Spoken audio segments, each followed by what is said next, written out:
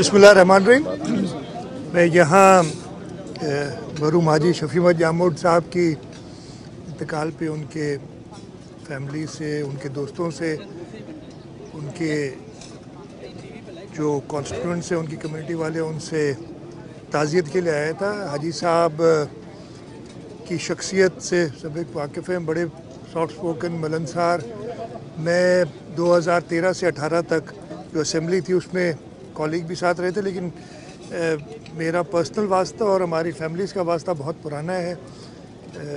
مرحوم علی محمد جاموٹ صاحب سے ہوتے ہوئے حاجی شفیع محمد جاموٹ اور اب محمود عالم ہمارے ساتھ ایم پی ہیں۔ وہ بھی دو ہزار دو میں کالیگ تھے ہمارے، محمود عالم اس وقت بھی۔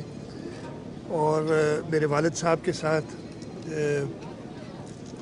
پرانے سیاستدان ہونے کی حیثیت سے۔ اور خاص طور پہ جو فشنگ کمیونٹی ہے، ان کو سرو کرنے کی حیثیت سے کافی پرانے تعلقات ہیں۔ ان کا جو خلا ہے، وہ بڑا مشکل ہوگا پر کرنا۔ اسمبلی کے اندر بھی وہ ہمیشہ اپنے علاقے کے لوگوں کی، اور خاص طور پہ جو فشنگ کمیونٹی ہے، ان کی مسئلوں پہ ان کی جو پرابلمس تھے، ان پہ آواز اٹھاتے تھے۔ اللہ تعالیٰ ان کو جوار رحمت نصیب کرے، ان کو جنت میں اعلیٰ مقام دے، اور ان کی جو فیملی ہے، ان کے دوست ہیں ان سب کو ہمت دے کہ جو یہ بڑا صدمہ ہے اس کو وہ برداشت کر سکے۔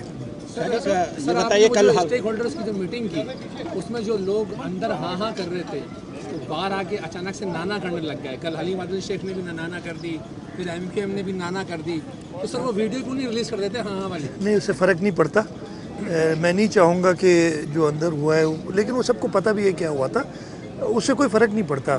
میرا مقصد تب بھی یہ تھا ابھی بھی میں ان سے ہی گزارش کروں گا کہ خاص طور پہ پانی کے مسئلے کے لیے ہمیں ضرورت ہے سندھ حکومت اکیلا یہ کام نہیں کر سکتی، ہمیں ضرورت ہے فیڈرل گورنمنٹ کی، ہمیں ضرورت ہے انٹرنیشنل ایجنسیز کی پانی میں بولوں گا تو بہت لمبی بات ہو جائے گی تو انہوں نے جو ہاں نہ کرنی، اس سے کوئی فرق نہیں پڑتا۔